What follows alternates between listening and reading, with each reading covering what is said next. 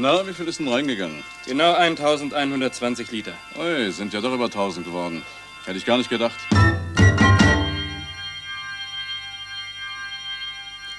Ich würde Ihnen ein Toupet in dieser Art empfehlen. Normalerweise sehr teuer, aber Sie, Glückspilz, brauchen ja nur den Unterschiedsbetrag zu bezahlen. Das wären dann rund 800 Mark. 800 Mark? Aber dann ist das alles gar nicht gratis? Sie kriegen guten, billigen Kredit und ich soll umsonst arbeiten. Tut mir leid. Ein Prozent Provision oder kein Geschäft. Das war ja nur mal eine Frage. Selbstverständlich kann ich die 5000 aufbringen.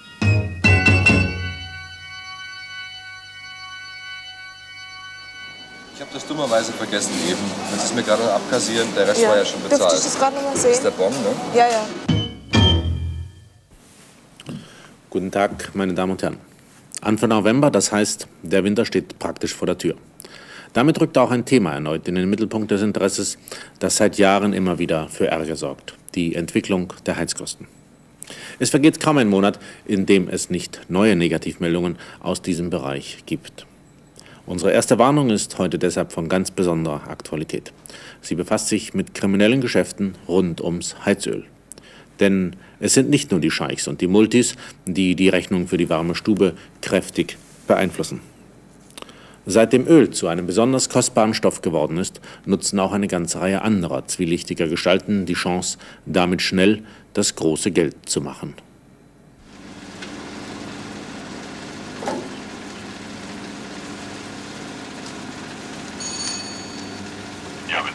So, ich bin jetzt fertig. Ja, ist gut, ich komme gleich.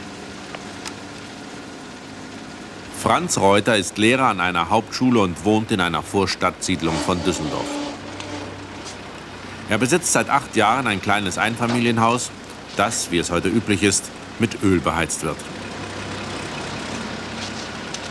Natürlich ärgert sich auch Franz Reuter über die steigenden Heizölpreise. Aber im Grunde genommen hat er sich, so wie die meisten Bundesbürger, mit der unerfreulichen Entwicklung, die seinen Geldbeutel immer mehr belastet, resignierend abgefunden.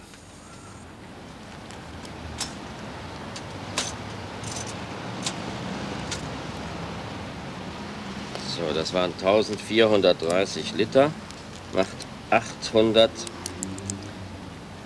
829,40. Mensch, So. das ist ja ein dicker Brocken. Wie viel ist denn das auf einen Liter? Das sind 58 Pfennig pro Liter. Das ist ein Pfennig weniger als vor einer Woche. Ja, vor drei Jahren waren es gerade mal 20 Pfennig. Vor ein paar Jahren waren die Ölscheichs auch noch mit weniger zufrieden. 1430 Liter? Das ist ja viel mehr, als ich gedacht habe. Dass da so viel reingegangen ist? Ich habe bloß mit 1200 gerechnet. Doch, doch, das stimmt schon. 1430 Liter. Die Uhren gehen hundertprozentig genau. Die werden vom Eichamt ständig kontrolliert. Naja, ich glaub's Ihnen ja. Vielleicht lassen Sie mal Ihren Brenner nachschauen, dass der zu viel verbraucht. So, wenn Sie so gut sind, hier mal unterschreiben. Die Rechnung kommt dann mit der Post. Naja, hilft ja doch nicht. Geben Sie mal her.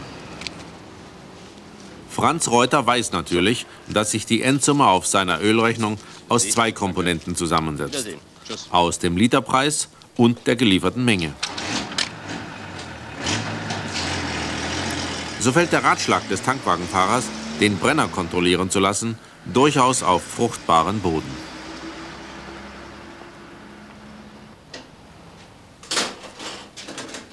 Also, Herr Reuter, der Brenner ist okay, der Kessel ist auch in Ordnung, alles optimale Werte. Können Sie ganz beruhigt sein, da geht kein Öl verloren. Komisch, das verstehe ich nicht. Wir hatten noch keinen so strengen Winter, nicht? Und ich habe wenigstens 500 Liter mehr verbraucht. Woher wissen Sie das so genau? So wissen Sie, ich bin Lehrer. Bei mir geht's immer akkurat so. Ich schreibe da alles auf. Kriegen Sie denn wirklich immer so viel Öl, wie Sie bezahlen? Ich meine, der Fahrer kann sich ja mal irren. Nee, nee, da gibt's nichts zu ehren. Die haben doch geeichte Uhren an ihren Wagen. Das habe ich mir neulich genau angesehen. Na, weil ich mich nämlich schon gewundert habe. Ich wäre da nicht so sicher. Wie meinen Sie das? Naja, im Vertrauen gesagt, unter den Kollegen hört man da so einiges, was da so laufen soll. Ach, und Sie meinen, dass man da an den Zählern was machen kann? Also hören Sie mal, ich kenne da einen Fahrer, der lebt auf ziemlich großem Fuß. Er fährt zwei dicke Autos und zweimal im Jahr fliegt er für vier Wochen auf die Bahamas. Ach, machen Sie doch keine Sachen. Na, überlegen Sie doch mal. Wenn so ein Fahrer zehn Kunden am Tag hat und schlabbert bei jedem ungefähr 100 Liter, dann sind das zusammen 1000 Liter und bei den heutigen Preisen macht das 500 Mark am Tag. Ach, das ist ja ein Hammer. Und, Sie glauben wirklich, dass sowas läuft? Na ja, wie gesagt, man hört so allerhand. Ja, wie kann man das denn feststellen? Sie müssen halt, wenn Sie eine neue Lieferung kriegen, vorher und nachher genau messen, was drin ist. Und wie macht man das? Lassen sich einen Peilstab einbauen. Die Dinger bringen sehr genaue Werte. Also das will ich machen. Das will ich jetzt wissen.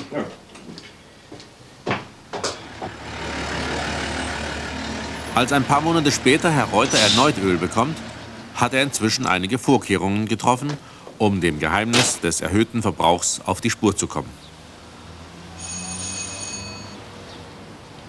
Ja, bitte? Ich habe das Öl. Sind Sie doch so gut und bringen Sie den Schlüssel raus für den Tankstutzen. In Ordnung, ich komme. Taschen. Oh, neues Gesicht. Wo ist denn der Kollege, der sonst immer kommt? Der hat Urlaub. Aha, wie lange? Noch drei Wochen. Da ist der Tankstutzen, ja. Ach, warten Sie noch einen Moment. Ich gehe eben runter und stelle die Heizung ab. Ja. Ich sage Ihnen dann Bescheid, wann Sie anfangen können. Ist in Ordnung. Franz Reuter hat seinen Tank noch einmal vermessen und einen relativ genau anzeigenden Peilstab einbauen lassen. Daran kann er jetzt ablesen, dass er noch ziemlich exakt 3100 Liter Öl besitzt.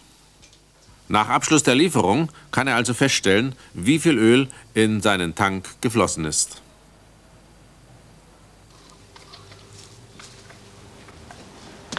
So, ist alles klar. Es kann losgehen. Sie brauchen mich wohl nicht dabei. Hm? Nee, nee, das läuft ja von alleine. Na schön, dann kann ich ja noch mal reingehen. Sie können mir ja Bescheid sagen, wenn es soweit ist. Nicht? Dauert ja nicht lange. Ach, in zehn Minuten ist das vergessen. Ich klingle dann wieder. Der Fahrer des Tankwagens bemerkt nicht, dass er es diesmal mit einem Kunden zu tun hat, der die Lieferung genau kontrolliert. So tut er, was manche Ölfahrer in einem unbeobachteten Augenblick tun. Er schaltet für einen Moment die Ölzufuhr ab und lässt Luft aus einer leeren Tankkammer durch den Schlauch strömen. Da er den sogenannten Gasmessverhüter kurz geschlossen hat, läuft das Zählwerk weiter, obwohl, wie im Schauglas deutlich sichtbar, kein Öl aus dem Wagen abfließt. Beim Abschluss des Tankvorgangs zeigt die Uhr schließlich 1120 Liter.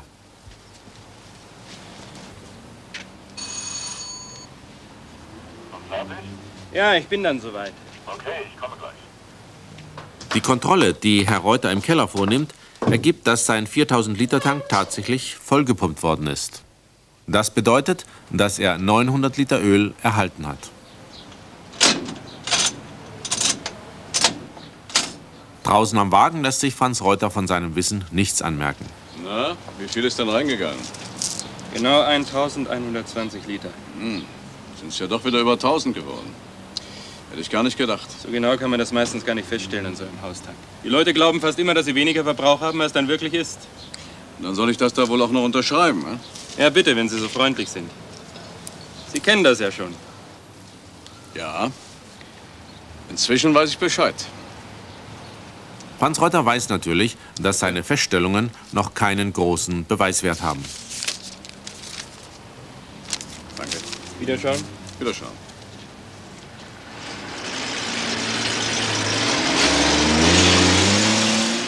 Deshalb beschließt er, der Sache weiter auf den Grund zu gehen.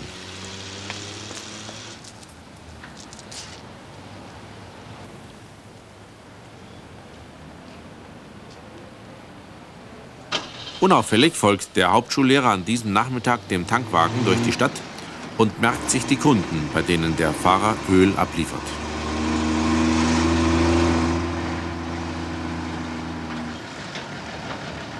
Die Tour endet schließlich vor einem verlassenen Fabrikgelände am Rande der Stadt.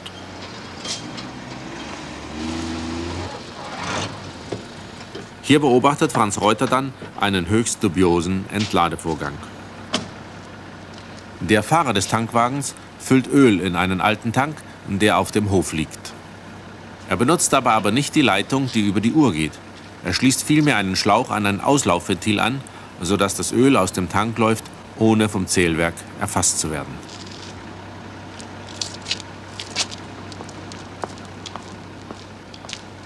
Entschuldigen Sie, wem gehört denn die Fabrik da drüben? Können Sie mir sagen, wo da das Büro ist? Büro? Die haben kein Büro mehr. Die haben schon lange zugemacht. Da ist aber doch gerade eben so ein Lastwagen reingefahren. So ein Tanker. Ach, der? Der kommt fast jeden Abend. Ich weiß auch nicht, was der da macht. Aha.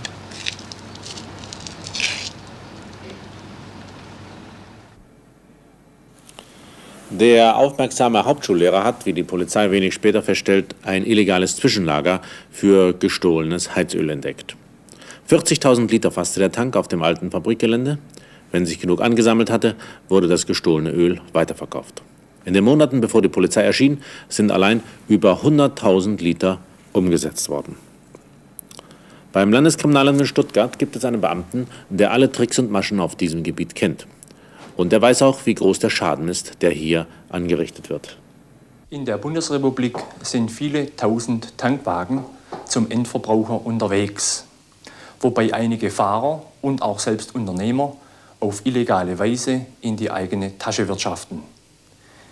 Die Tricks, mit denen die Kunden dabei betrogen werden, sind vielseitig. Die vorgeschriebenen Gasmessverhüter können ausgeschaltet werden, sodass Luft statt Öl in den Tank gepumpt wird. Auch das Zählwerk kann auf vielfache Weise manipuliert werden.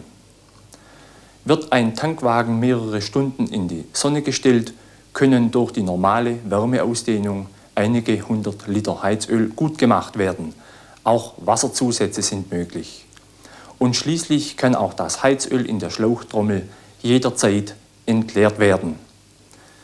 Tankwagenkontrollen haben bis zu 40 Prozent Beanstandungen gegeben.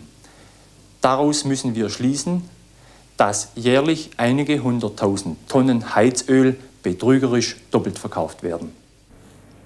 Sicher, die meisten Heizölhändler und ihre Fahrer werden ihr Geschäft korrekt betreiben. Aber mit schwarzen Schafen des Gewerbes muss man natürlich rechnen.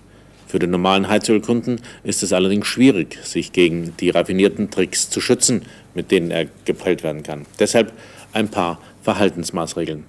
Sie sind im Übrigen auch in einem Faltblatt enthalten, das vom Landeskriminalamt Stuttgart herausgegeben worden ist. Zunächst soll das Zählwerk des Tankwagens bei Beginn der Lieferung auch wirklich auf Null stehen.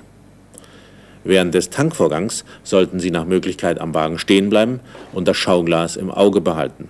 Das Öl muss dort ohne Luftbläschen durchlaufen. Und dann empfiehlt es sich, wie gesagt, den Inhalt im eigenen Öltank vor und nach der Lieferung möglichst genau nachzumessen.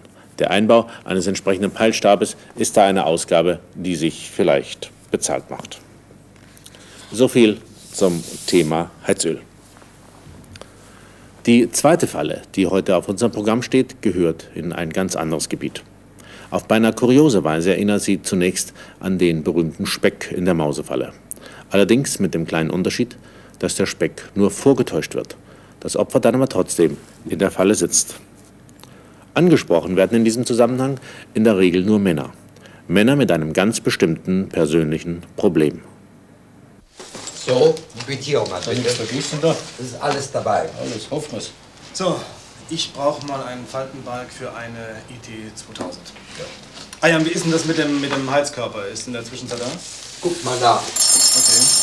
Ja, wir wissen noch, macht die Technischer Kundendienst? Ja. Sagen Sie mal eben Name und Adresse. Kleinen Moment, ich glaube, die Monteure sind gerade noch da. Leute, hier ist eine Frau Bornschein, Lange Straße.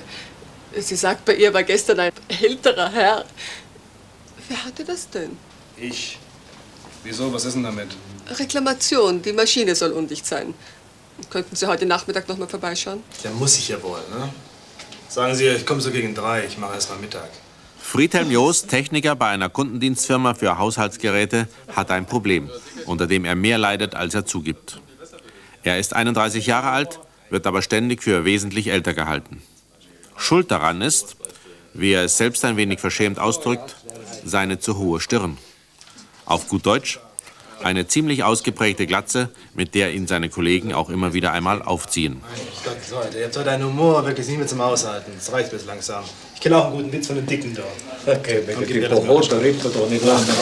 Ihr ihr, ihr könnt's mich langsam. Lasst mich wirklich mal in Ruhe. Wirklich. Schnauze jetzt. Das war schlecht. Geht das mal. Ja, ja, servus. Obwohl er sich schon oft darüber geärgert hat, reagiert Friedhelm Joost immer wieder besonders gereizt, wenn er auf den vermeintlichen Makel seines Äußeren angesprochen wird. Und er ist natürlich auch ein immer wieder zu verführender Interessent für Haarwuchsmittel der verschiedensten Art. Manchmal wundert er sich ein wenig, woher die Firmen, die Präparate dieser Art vertreiben, ausgerechnet seine Adresse haben. Er weiß nicht, dass jede Antwort auf solche Werbebriefe, die er zurückschickt, einen neuen Impuls auslöst. Denn die Firmen schicken nicht nur ihre Werbung, sondern sie tauschen auch ihr Adressenmaterial untereinander aus. Friedhelm Joost ist Junggeselle. Sein häuslicher Alltag lebt von der Improvisation. Es gibt niemanden, den es stört, dass er während des Essens die Post liest. Der Brief des H-Institutes Hildesheim, den er an diesem Tag bekommen hat, enthält ausnahmsweise keine Aufforderung zum Kauf eines Haarwuchsmittels, sondern lediglich die Einladung, an einer Verlosung teilzunehmen. Als Gewinn ist ein Toupet im Wert von 1200 Mark ausgesetzt. Die Teilnehmer brauchen nichts weiter zu tun, als eine nummerierte Postkarte einzuschicken. Da der Kundendienstmonteur keinerlei Risiko erkennen kann, entschließt er sich, an der Gratisverlosung teilzunehmen. Nach der Mittagspause erledigt Friedhelm Joost an diesem Tag als erstes die Reklamation bei der Dame, die ihn als älteren Herrn in Erinnerung hatte. Tut mir leid, dass Sie noch mal herkommen mussten, aber als ich waschen wollte, ist das Wasser unten rausgelaufen. Naja, dann wollen wir mal. Dürfte nur eine Kleinigkeit sein. Für einen erfahrenen älteren Mann sicherlich nicht zu schwer. Aber ja, da bin ich wohl ins Fettnäpfchen getreten. Hm? Ich habe das am Telefon schon gemerkt. Reparieren Sie mir die Maschine trotzdem? Naja, das kommt ganz auf die Wiedergutmachung drauf an. Ich würde sagen, Sie räumen jetzt erstmal die ganzen nassen Lappen da weg. Ja? Friedhelm Joost versteht sein Handwerk. Und wenn die Kunden auch noch nett sind, ist er gelegentlich sogar ein glücklicher Mensch.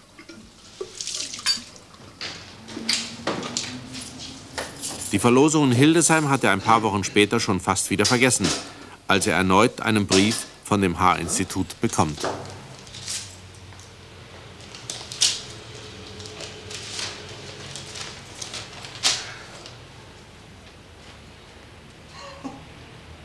Ich glaub, mich knutscht nicht. Ich hab gewonnen. Ein Toupet. Für 1200 Mark. Friedhelm Joost wird aufgefordert, nach Hildesheim zu kommen, um für das gewonnene Toupet Maß nehmen zu lassen. Diese Reise ist ihm natürlich einen Tag Urlaub wert. Am Ziel erwarten Herrn Joost ein überaus freundlicher Empfang, allerdings nach und nach auch ein paar weniger angenehme Eröffnungen. Was Sie gewonnen haben, Herr Just, ist etwas in dieser Qualität. Ja. Das ist nicht schlecht, keineswegs, aber es ist eben Standardqualität. Sehen Sie hier am Scheitel. Da sieht man eben nachher doch, dass es ein Toupet ist. Ja, ja, da gebe ich Ihnen schon recht. Ich würde Ihnen etwas in dieser Art empfehlen. Normalerweise sehr teuer, aber Sie, Glückspilz, brauchen ja nur den Unterschiedsbetrag zu bezahlen. Das wären dann rund 800 Mark. 800 Mark? Friedhelm Joost hat eigentlich damit gerechnet, einen Gratis-Toupet zu bekommen. Und nun soll er plötzlich 800 Mark zuzahlen.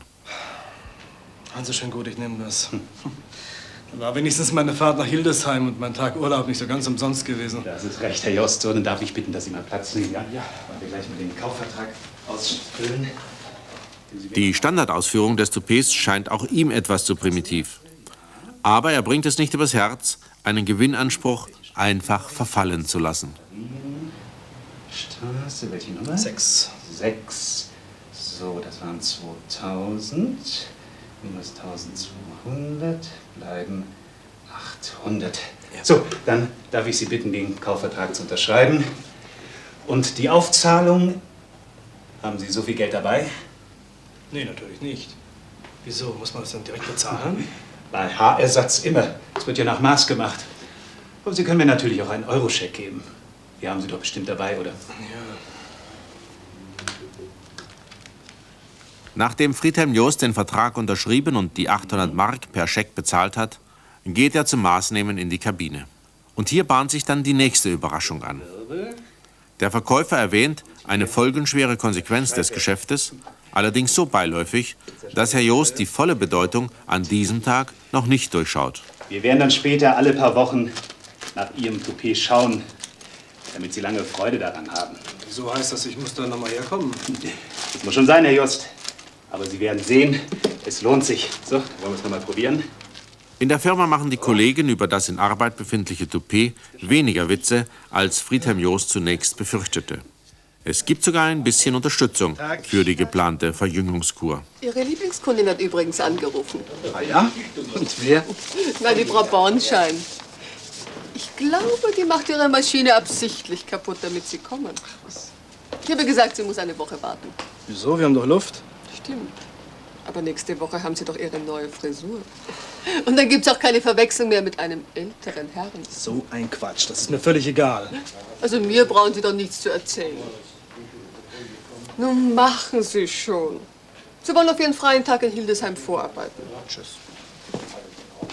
Herr Just, hier haben wir unser Prachtstück. Pünktlich einen Monat nach seinem ersten Besuch sitzt Herr Jost wieder in der Kabine des H-Instituts. Na, gefällt's Ihnen? Ja. Gut, will ich's nur noch schnell rauskämmen. Er ist mit dem Ergebnis durchaus zufrieden. Die Eröffnung, die ihm der Verkäufer dann im weiteren Verlauf des Gespräches macht, ist allerdings weniger angenehm. Na, Herr Just, da sitzt doch jetzt ein ganz anderer Mensch. Ja, ist kaum zu glauben, was das ausmacht. Das ist wirklich irre. Und dann müssen Sie jetzt künftig alle vier bis sechs Wochen zu uns kommen. Das macht 70 Mark pro Sitzung. Wieso? Kann ich mir das Ding denn nicht selber auf und absetzen? Im Prinzip schon, aber es muss ja auch kontrolliert und gepflegt werden, sonst ist das schnell kaputt. Und dazu ist es einfach zu wertvoll. Ich schlage vor, bitte. Sie buchen sechs Sitzungen, das macht 420 Mark. Wenn Sie es nicht gleich bezahlen können, genügt es, wenn Sie uns einen Wechsel unterschreiben. Ein Wechsel? Wieso? Was ist ein Wechsel? Es gelingt dem Verkäufer, Herrn Jost zu überzeugen, dass der ganze bisherige Aufwand sinnlos wäre, wenn er jetzt nicht auch noch die Sitzungen für Kontrolle und Pflege seines Toupets buchen würde.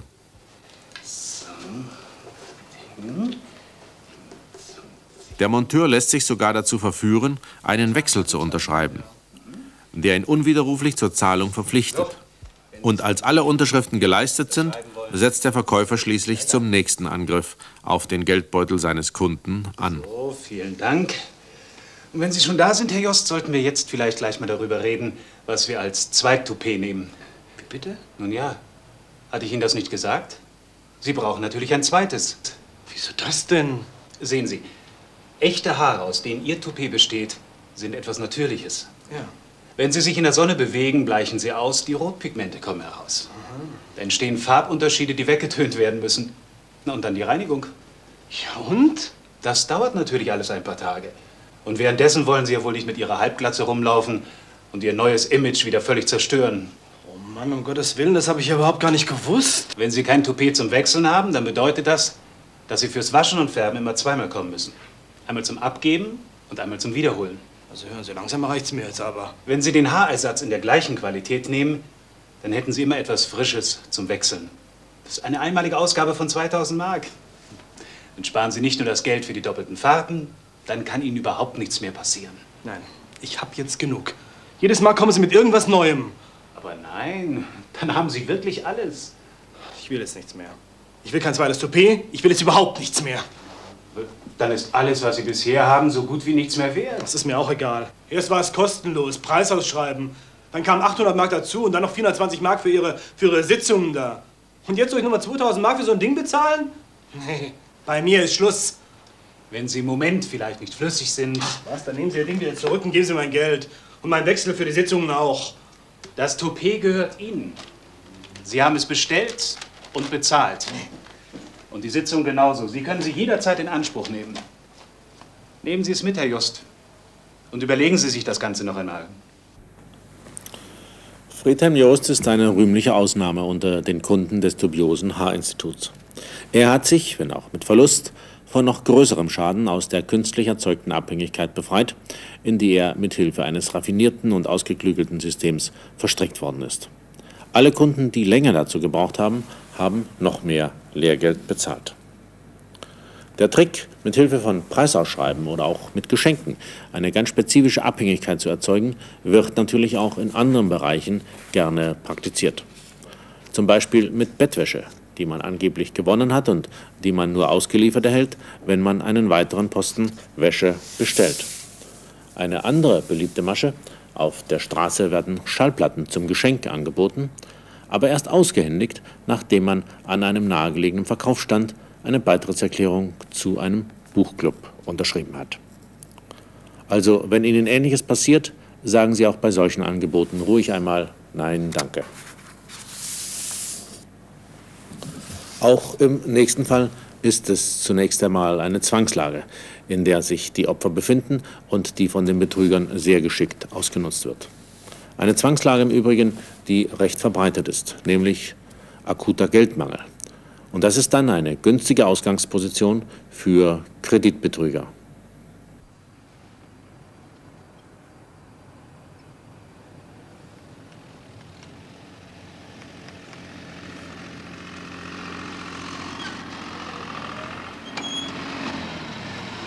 Moin, wie geht's dir dann? Moin, Paul. Da siehst du ja, ich bin schon wieder am Reparieren. Immer wieder sind die Dinger kaputt. Ist jedes Jahr derselbe Ärger. Ich fahr gerade mal rüber zu mir und guck, wie es bei mir aussieht. Oh, bei dir sieht's sehr gut aus, gell? Ich könnte dieses Jahr wirklich eine gute Ernte gebrauchen. Ich weiß sonst nicht, wie ich über die Runde kommen soll. Die Erbsache mit meiner Schwester, die hat mir verdammt zugesetzt. Die habe ich doch völlig auszahlen müssen. Und die Sparkasse, was sagt die dazu? Bei denen habe ich für die neue Maschine so viel aufnehmen müssen, die wollen nicht mehr. Die haben mich sowieso schon gefragt, ob ich das überhaupt packe. ist immer das Gleiche. Die geben es bloß denen, die es nicht brauchen. Ja, Im nächsten Jahr wird es dann bestimmt wieder laufen. Da machen sich die Anschaffungen bestimmt bezahlt. Sag mal, wie wär's denn mit der anderen Bank? Ich meine, ein bisschen weiter weg, Frankfurt oder so. Die stecken doch alle unter einer Deck. Die erkundigen sich doch gleich immer überall. Und wie wär's mit der ausländischen Bank? Du, ich hab da was gelesen. Ich glaube, ich hab die Zeitung noch daheim. Da gibt irgend so ein Araber ganz günstige Kredite. Ich habe schon überlegt, ob ich selber machen soll. Drei Prozent oder sowas will der haben. Drei Prozent? Das wäre ja wahnsinnig günstig. Komm doch mal vorbei. Ist gut, Paul.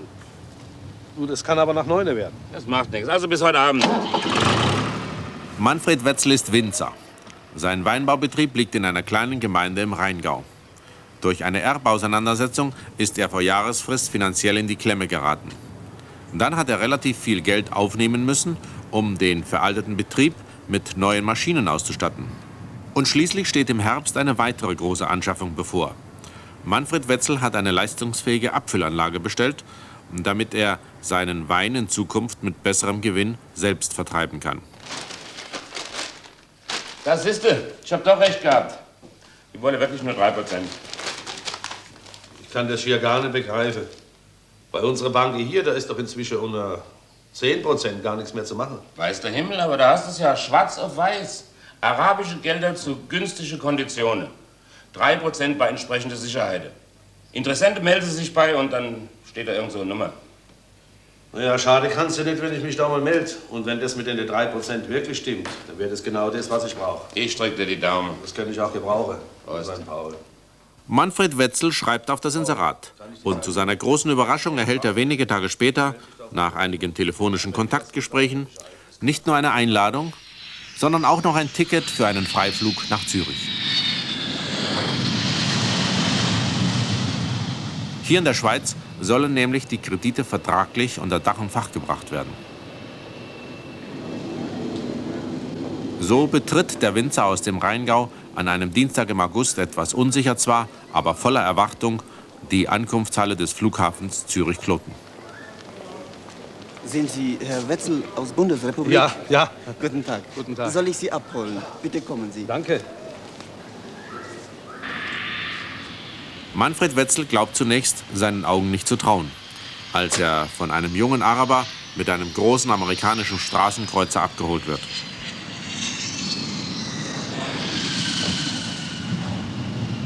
Die Fahrt geht in ein elegantes Zürcher Hotel, in dem der potente Geldgeber, der die billigen Kredite anbietet, residiert.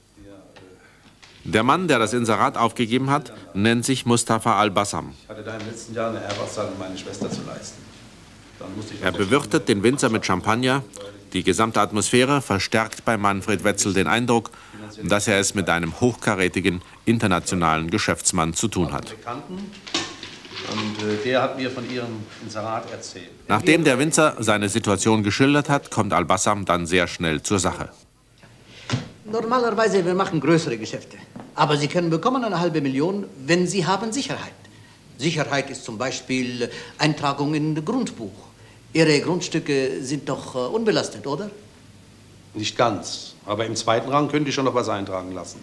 Ist gut. Dann Sie bringen Urkunde von Notar, wir machen Vertrag und Sie kriegen Geld. Das, äh, das wäre ja sehr schön, aber ganz ehrlich gesagt, ich kann das noch gar nicht begreifen. Drei Prozent, das wäre doch wahnsinnig günstig. Ist doch gut für Sie. Oder wollen Sie mehr zahlen? Nein, nein, um Gottes Willen, nein, aber das ist so ungewöhnlich. Wissen Sie, bei uns in Deutschland ist es viel teurer, so ein Kredit. Kann ich Ihnen erklären. Ich, ich bin nur Vermittler. Dieses Geld kommt äh, aus Saudi-Arabien, Familie des Prinzen. Ölgeld. Es soll investiert werden in Europa. Deswegen müssen wir billiger sein als Banken in Deutschland. Außerdem, Allah verbietet Wucher. Äh, Zu großes Geschäft mit Geld. Äh, Sahadak. Äh, Auf Ihr Wohl.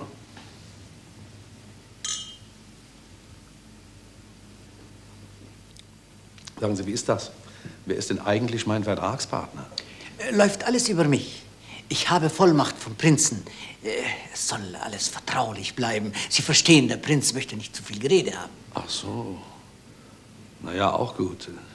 Kann mir ja auch im Prinzip egal sein. Aber kriege ich denn das Geld hier gleich mit oder wie ist das? Nein, nein. Äh, Das Geld wird direkt von Schweizer Bank nach Deutschland überwiesen, sobald Vertrag perfekt ist. Ja, noch was. Sie kriegen ja Ihre Sicherheit durch die Grundbucheintragung. Aber was habe ich denn für eine Sicherheit, dass das Geld auch kommt? Ja, Allah, Herr Alman. Ihr Deutschen, immer voller Misstrauen. Aber ich kann Sie beruhigen. Äh, Referenzen. Schweizer Banken, wie viele wollen Sie haben? Eins, zwei. Genügt Ihnen das? Ich kann nicht so gut Englisch. Was steht denn da drin? Die Bank bestätigt, dass 40 Millionen Dollar bei ihr liegen und dass ich darüber verfügen kann. Reicht Ihnen das, Herr Wetzel? Gott sei Dank brauche ich nicht ganz so viel. Aber wie gesagt, äh, 500.000 würde ich ganz gerne aufnehmen. Gut. Sie bringen Grundbuchbestellung von Ihrem Notar, wir machen Vertrag und ich überweise Ihnen das Geld. Wenn Sie die Provision bezahlt haben, in bar, äh, deutsche Mark oder Schweizer Franken, wie Sie wollen. Ach so, ja, die Provision. Das war ein Prozent. Können Sie da nicht ein bisschen runtergehen? Das wären ja sonst 5000 Mark für mich. Sie wollen mit mir handeln? Wegen 1% Provision? Sie kriegen guten, billigen Kredit und ich soll umsonst arbeiten. Nein, tut mir leid. 1% Provision oder kein Geschäft. Das war ja nur mal eine Frage. Selbstverständlich kann ich die 5000 aufbringen. Also gut, Sie wissen Bescheid. Hier sind die Papiere, Unterlagen für Ihren Notar. Sie können Grundschuld bestellen und wir machen Vertrag oder nicht. Ich rufe Sie nächste Woche an. wenn ja, dann sehen wir uns wieder. آه، تود الخواجه المطار هو حاجه على المنيا ايوه ja, Ahmed. Äh, Ahmed wird Sie jetzt äh, zum Flughafen bringen. Ich habe Verabredung mit äh, zwei anderen Kunden aus Deutschland. Wiedersehen, Herr Wetzel. Wiedersehen und äh, vielen Dank. Manfred Wetzel ist der Verhandlungstaktik des Arabers nicht gewachsen. Mal jovial, mal aufbrausend hat der Geldverleiher es verstanden, den Winzer fest an die Angel zu nehmen. Dass die vorgelegten Referenzen der Schweizer Banken falsch und die geschäftlichen Beziehungen zu einer arabischen Familie erfunden sind, kann Manfred Wetzel nicht erkennen. Zu Hause im Rheingau steht er dann allerdings noch vor dem Problem, kurzfristig die 5000 Mark aufzubringen, die Mustafa al-Bassam als Provision verlangt hat. Das war wirklich ein guter Tipp von dir, Paul. So billig wäre ich hier nie an eine Darlehen rangekommen. Ja, ist ja prima, wenn alles so klappt.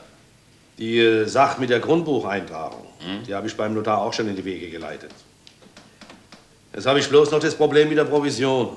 Was denn für Provision? Ja, ist ja klar. Der Al-Basam, der macht es ja nicht umsonst. Der will ja bei dem Geschäft auch was verdienen. Und bei Abschluss wird 1% der Kreditsumme als Provision fällig. Das wären 5000 Mark bei mir. Ich verstehe, und die 5000 hast du im Moment nicht. Genau. Sag mal, Paul, könntest du mir die 5000 vielleicht vorschießen? Nur für 10 bis 14 Tage, bis das Geld auf meinem Konto ist. Kriegst es dann sofort wieder.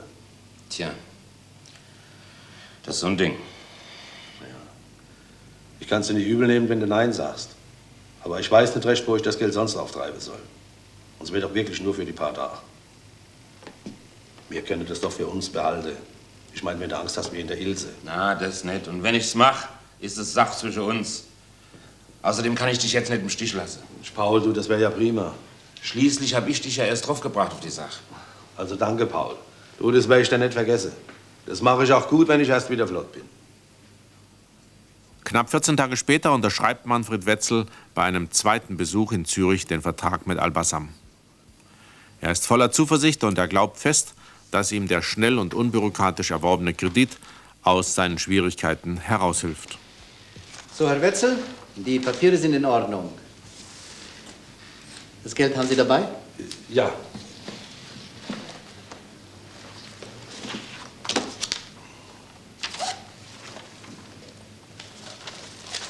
Hier, wie vereinbart, 5000 Mark.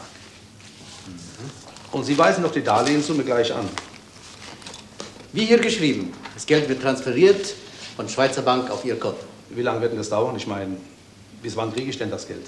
Nun, Schweizer Banken arbeiten ja recht gut. Eine Woche, höchstens zwei. Vielleicht können Sie ein bisschen nachhelfen. Sie wissen ja, ich brauche das Geld ziemlich dringend.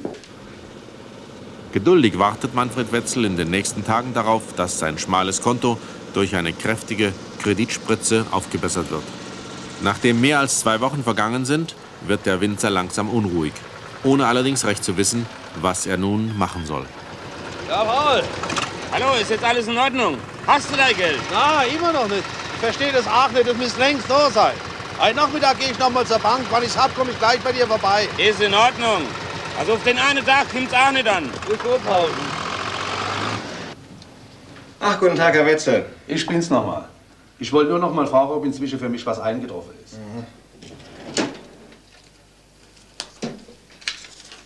Nein, da ist nur eine Abbuchung von der Versicherung. Das gibt's doch nicht. Könnte es nicht sein, dass heute doch was eingetroffen ist? Ich meine, dass vielleicht bloß der Auszug noch nicht da ist. Mal sehen.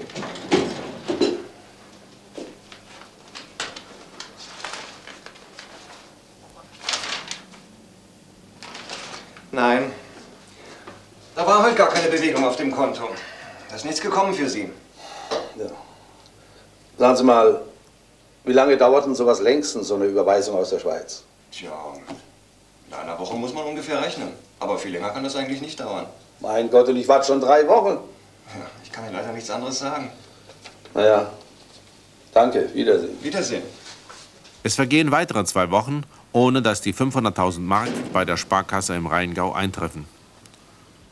Und auch sonst hört Manfred Wetzel nichts von dem Mann, der sich in Zürich Al-Bassam genannt hat. So sucht er schließlich Rat und Hilfe bei der Polizei. Für den Winzer gab es, wie Sie sich wohl denken können, eine böse Überraschung. Bei der Kriminalpolizei war der arabische Geldvermittler nämlich kein Unbekannter. Vor Manfred Wetzel hatten bereits zahlreiche andere Kreditsuchende beträchtliche Provisionen gezahlt, ohne dass auch nur in einem Fall das versprochene Darlehen überwiesen worden wäre. Mehrere Millionen Mark hat allein dieser Betrüger kassiert. Und manche der Betrogenen mussten sogar Konkurs anmelden.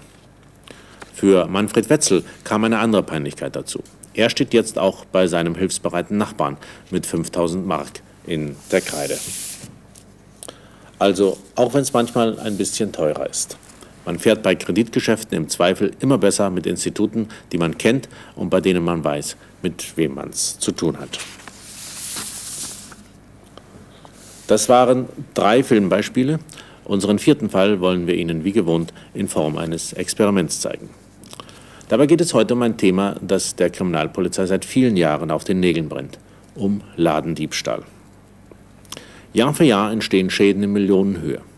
Allein 1979 sind bei der Polizei rund 300.000 Diebstähle dieser Art angezeigt worden. Was die Sache so ärgerlich macht, ist die Tatsache, dass diese Schäden letztlich von uns allen mitbezahlt werden müssen. Denn es ist ja bekannt, dass die Firmen solche Verluste bei ihren Preisen mehr oder weniger einkalkulieren. Unser Experiment behandelt natürlich nur einen der vielen Tricks auf diesem Gebiet, aber einen recht wirkungsvollen, wie sich zeigt.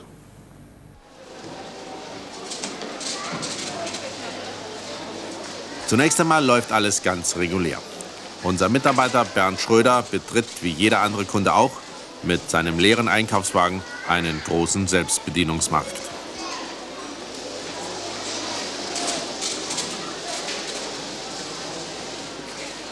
Hier nimmt er dann aus den Regalen die unterschiedlichsten Waren, im Wert von insgesamt rund 100 Mark.